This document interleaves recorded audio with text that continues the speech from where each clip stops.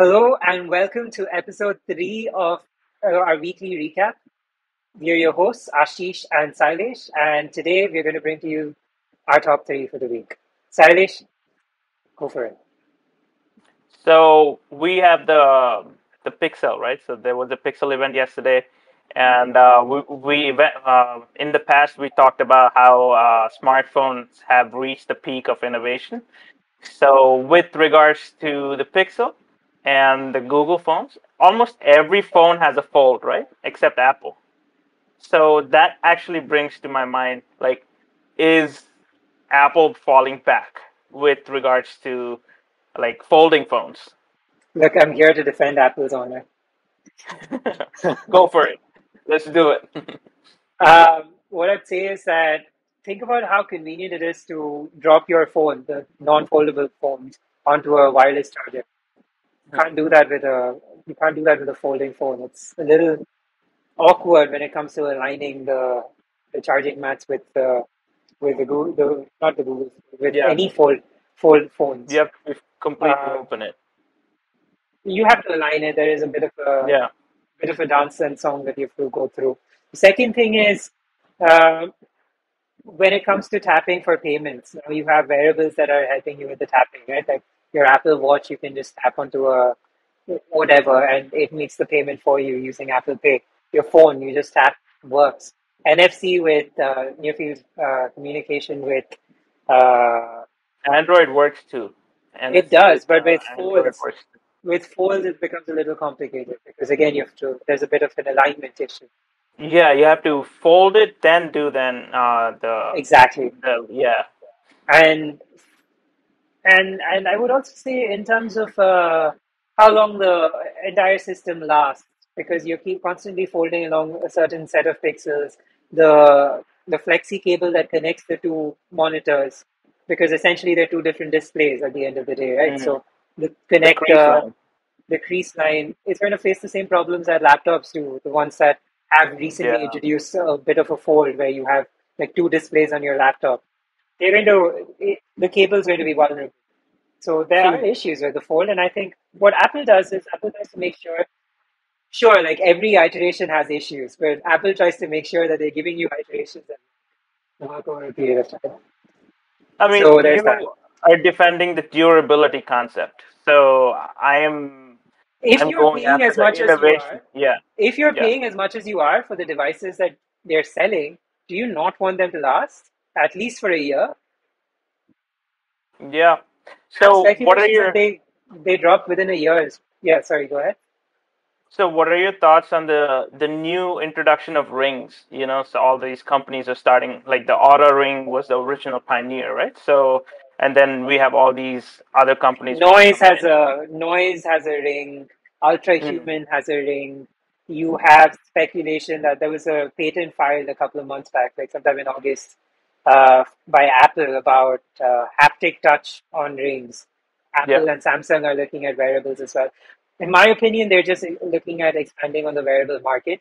Uh, both companies expanded initially using the Apple Watch, the Samsung Watch. Google got into the watch business as well by acquiring uh, Fitbit. Mm. now it's just it's just a matter of time. Like it's just a matter of expansion. Like when uh, Amazon came up with Alexa, Google came up with the Nest. Apple decided to get into the foray as well, right, with the HomePod. Yeah. And now I'm not saying that they didn't all start innovating at the same point in time, but this was in terms of product release. This is what Apple. This is what we got to see. It's just they're just getting into it. my opinion is the ring is actually really good because I like a lot of people like to enjoy wearing like analog watches, like not just the digital, uh, you know, smartwatch, but uh, but wearing an analog watch hinders your wear, you know, like um, completely. Um, Wearing two watches, right? Yeah, basically, right. Yeah. So so instead of that, the the ring will take care of all your, you know, it records everything what you need to record for the for the phone, right? So your sleep monitor, everything goes in. There's also a device called Whoop that uh, I think uh, I forget his name, but Mr. Wonderful, basically the shark. Hmm. He wears a Whoop, and uh, he's very into watches, so he wears a fancy analog watch, and then the. Whoop band on the other hand. So Yeah. that's an alternative that people are exploring, but sure, like the rings, depending on how accurate the ring gets. Also, like in terms of blood oxygen monitoring, you don't have a, a blood oxygen monitor here. You have an oxygen monitor at the end of your finger because accuracy improves. When uh, Apple came up with that, uh, you know that, uh, uh like you can have that ECG Yeah. test on the Apple Yeah. Watch. Like you put your finger here on this band and then connect it to your wrist. They had Yeah. a doctor come in and say that, yeah, this actually works. These readings can be shared with medical professionals. They made a, a large hue and cry about it, and which it's, it's a fantastic piece of innovation. But when it came to blood oxygen, their disclaimer was this is like use it for recreational purposes, use it for fun. Like it's it's not like as medically serious as everything else was. Yeah. So there is an accuracy issue, and I think the ring is going to help solve both those issues. So yeah, fantastic. So let's cover our next topic. So so we have this upheaval in the entire American Congress. So the the speaker was ousted recently. What's your Kevin opinion on McCarthy. Do you think So Donald Trump's going to come in? Uh, will Donald Trump speak up? said he did say he is going to come in as a, he can he can become an interim speaker. Legally, it's possible. Like you can bring in um, you can be a speaker as long as uh, you win the vote in in the House. You don't have to be a congressman or a congresswoman part uh, part of the to be part of the speaker.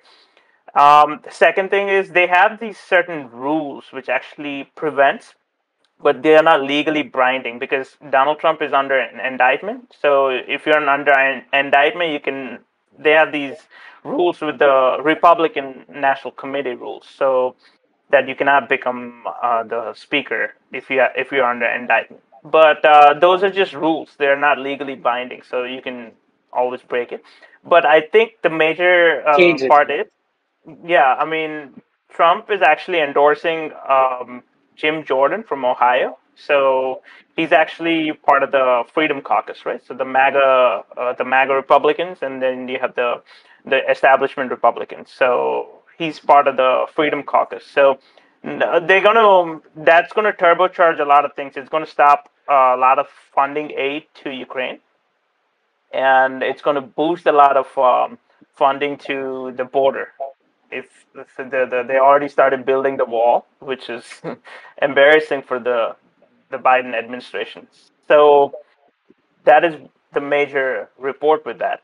And uh, But as we Take us speak, to take us to another place that has a wall between yeah, as we neighbors. speak, uh, we have um, you know Israel bombing uh, Hamas right now. It just launched the attacks.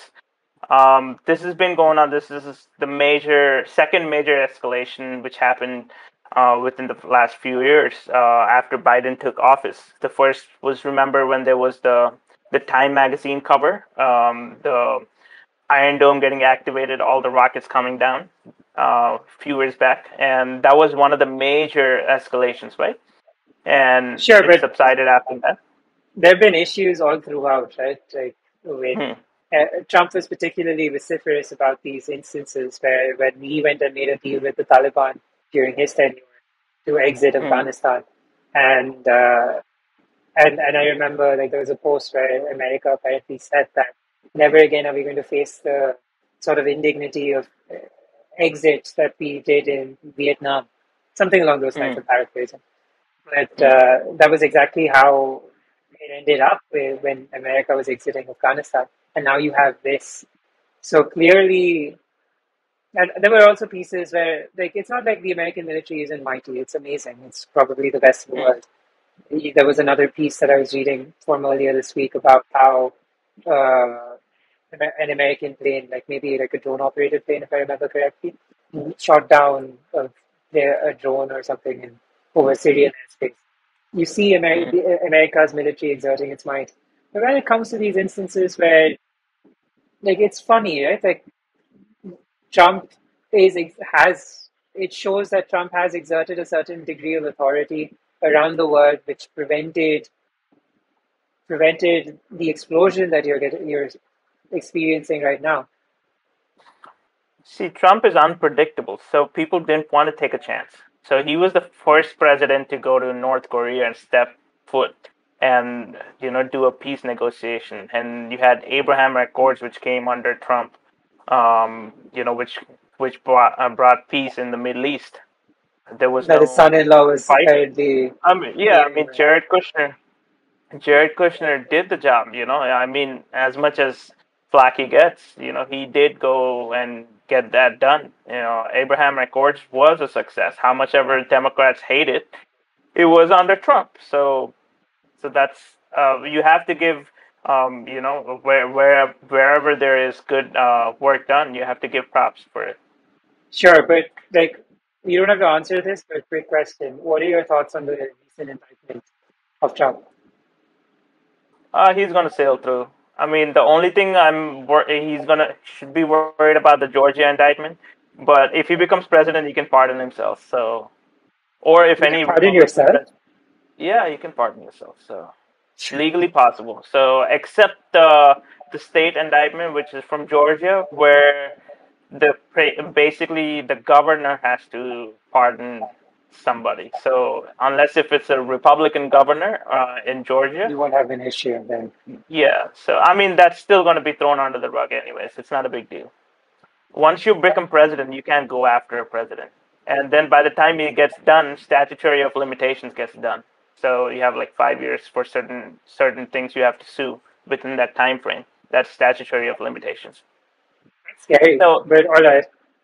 I mean, I say that's scary because there been instances where it's it's been clearly documented. Right? There there have been some fishy things, yeah, and whatever. Like his policies at the end of the day have been great for the like the policies that he, the economic policies where he's operated.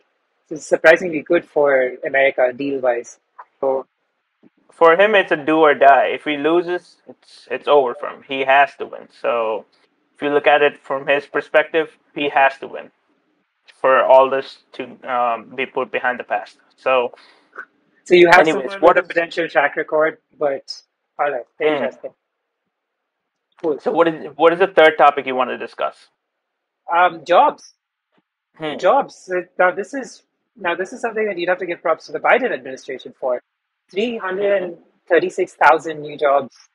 So in August, uh, in August of this year, it was about two hundred something, two hundred twenty-seven thousand jobs, and hmm.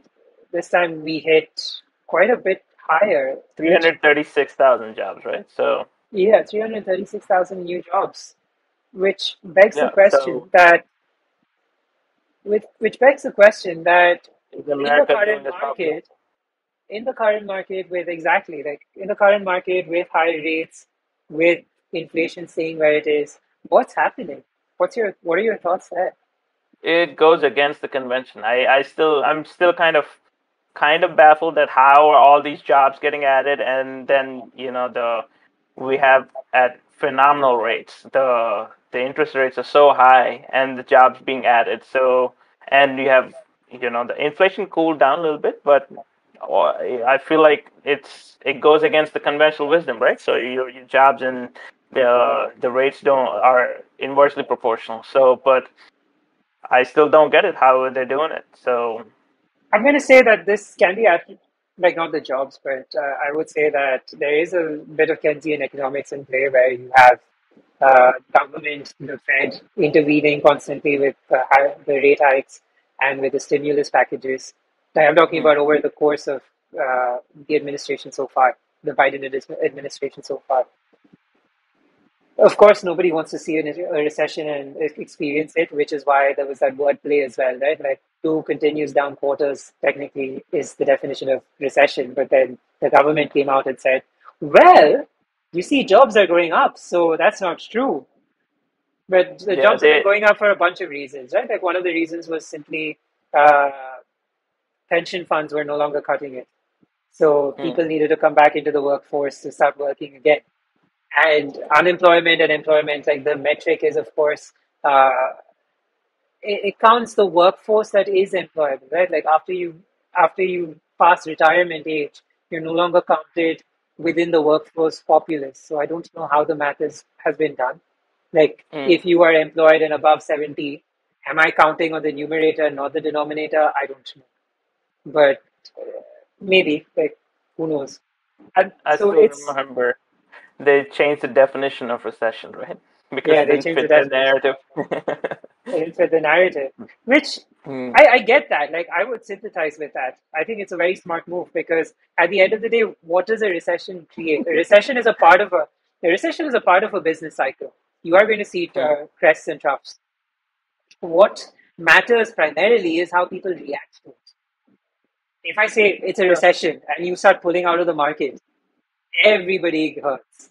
If I say we're doing fine, like stay stay the course, like stay steady. Five years down the line, I could just be like, yeah, there was an economic downturn, but things were fine. Like we handled it.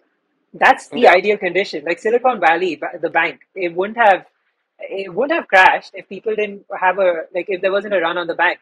There was a run on the bank because there was collective panic. That's what a recession essentially does. So I think the Biden administration played really they played very quite smart with that particular move, and uh, I think we're on the course for a soft landing for sure, which mm, makes me think that maybe we should consider putting like reinvesting in the market. Fingers crossed. Yeah. So what else? Uh, those are the major topics. Right? So if you have any minor topics which caught your eye, one of the major things it caught my eye was The mi- the uh, major minor things yeah. So the minor one was basically Indi- India.